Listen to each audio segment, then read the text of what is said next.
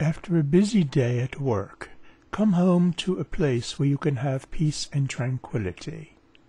There's a townhouse for sale in the heart of Falls Church, Virginia, at Water's Edge Condominiums.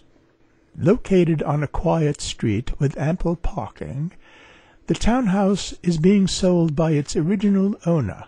The living and dining area are on the first level, through which you can reach your private deck that overlooks the lake. The living room has a wood-burning fireplace, and the dining area is adjacent to the kitchen. The heating and air conditioning system was replaced 15 months ago. Kitchen window faces east, giving plenty of light. There's lots of counter space and cabinets to store your food. There's a half bath at the living level.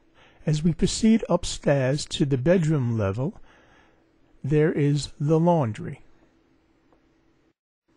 The home was carpeted and painted four years ago with the installation of windows throughout. The master bedroom faces east and is very bright and cheery.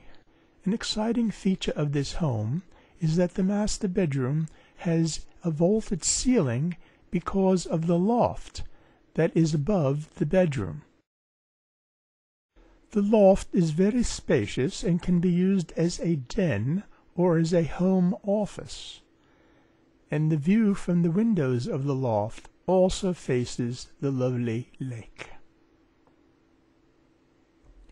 Thus the bedroom has a full private bath. Second bedroom is also very spacious and has its own full private bath. Both bedrooms have fully shelved closet space and plenty of room to hang clothing. Amenities at Water's Edge include a swimming pool which is open from Memorial Day to Labor Day and is fully staffed by a lifeguard. There is also a tennis court on the property and a walking path around the lake. There are 119 units on the property, most of which are on the lake.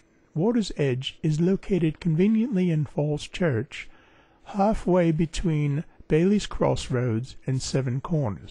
Water's Edge is only a few blocks from the Culmore Shopping Center, where the famous Peking Duck Chinese restaurant is located.